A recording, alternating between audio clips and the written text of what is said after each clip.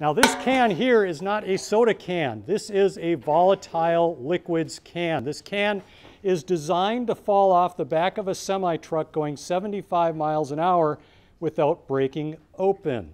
And I'm going to jump on the can and I cannot crush this can. Now, what we're going to do is we're going to heat it up and then we're going to implode it. Closer. Nice. Okay. We'll take this, set it like that. Okay. So what's happening to the molecules inside? What did that? I couldn't do that. I was jumping on it and I couldn't make it happen. Atmospheric pressure. Yep.